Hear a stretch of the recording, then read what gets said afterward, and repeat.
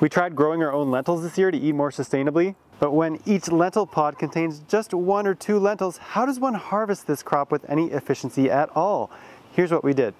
When the lentils were nearly mature, we pulled the plants and laid them out to dry in our high tunnel. Then we stripped the leaves and lentil pods by hand. This was a bit tedious, but it gets better. At this point, we had several bins of leaves, thinner stems, and lentil pods, and we just needed to somehow separate the lentils from all this junk. For that task, we turned to our trusty threshing machine. Yeah, I built an electric solar-powered threshing machine. That's another story. Anyway, when we dumped all that lentil junk into the top chamber, the beater bars helped the lentils break free from their pods and drop into the lower winnowing chamber, which uses forced air to separate the lentils from any smaller chaff.